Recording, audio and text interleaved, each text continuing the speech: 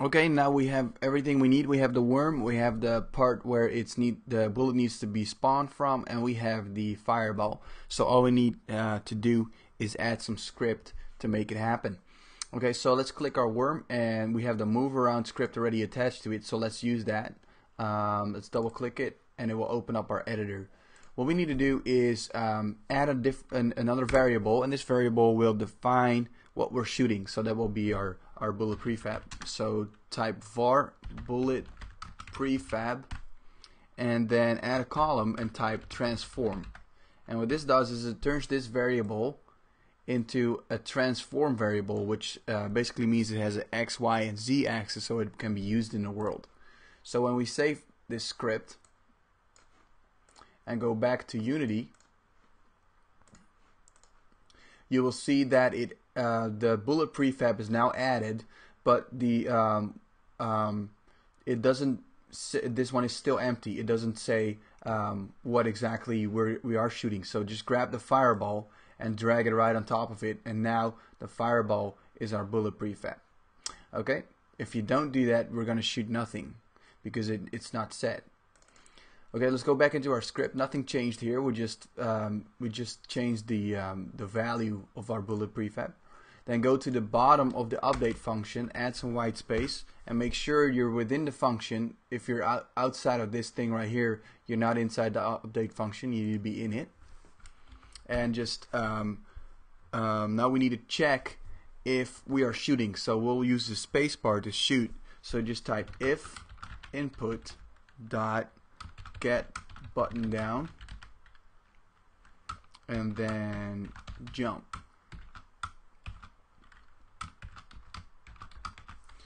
Okay, you need to type it exactly as I did with a capital I, and where there's capitals, there need to be capitals.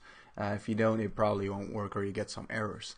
This script is really easy. It checks if uh, a button is down, and that comes from our input class uh, which is predefined in the engine and the button that needs to be down is jump. Now the engine already knows what this means and by default it's spacebar. So we're just checking if spacebar checks is is is um and that's basically all we're doing. Next what we need to do is we need to start creating our bullet in the world because as you as we have seen our bullet is not in the scene it's in here in our project. So we need to take it from our project and add it into the hierarchy but then in script at runtime.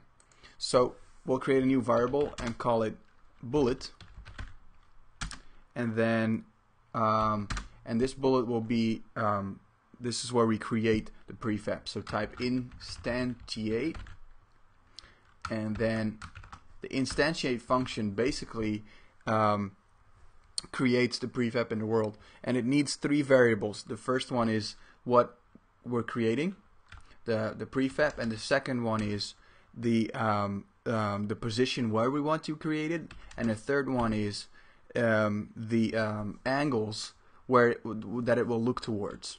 Okay, so the first one is what we need to create, our prefab, and we already defined it here, our bullet prefab. So just copy that and then paste it there. Our second one needs to be uh, where exactly we want to have it in the world um, and that is our spawn point that we have created. So to find our spawn point, type game object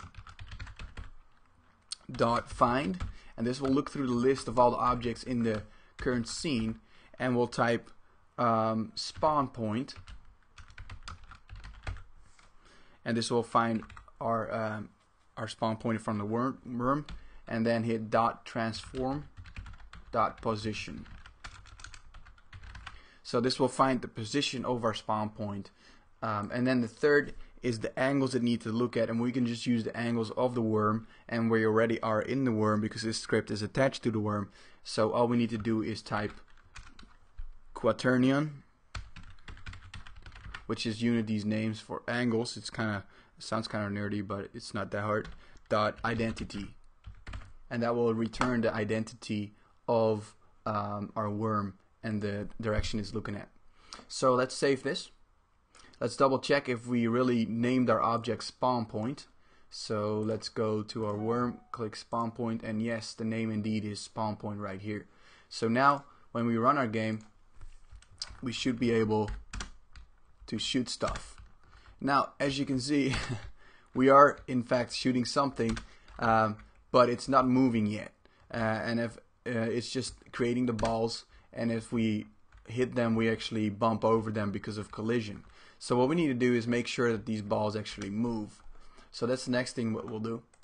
Go back to your script, open it up, and then um, let's clean this up a little bit. Um, just hitting enter here, a couple tabs. There. Um, after we're done with this, we need to change the bullet and add some um, add some force to it. Now, let's double check if our bullet has physics attached to it. So open our bullet prefab, our fireball. As you can see, there's no physics. So just go to component, physics, and then uh, add a rigid body. Now, our worm has a character controller, which is physics in a way, but it's not very realistic. We want our fireball to bounce around, so we add a rigid body to this one. Okay, so now that we have added a rigid body, let's go back to our script and type bullet dot rigid body, which is the rigid body we just added, uh, dot add force, and then the force wants us to give us a number of how much and in what direction. So we'll just hit transform dot forward, which takes the forward direction of the worm and multiply it by a force of about um, 200. Let's save this. See what that does. Now when we shoot our fireball, it's moving very slowly. So we should change that. Let's go back to our script and add 2000. Save it. Run it again. And now we're shooting something. That's awesome. As you can see, the fireball is created right in front of the worm. The worm is not hitting it because it's shooting straight. If if the worm is hitting the ball, then it would bounce off the worm and go into a weird direction. So if you're having that, then that's what causes it. Um, and then um, now if we start adding some geometry to our level, you can see things bounce around. So let's create um, let's create a cube here. Move it. and scale it.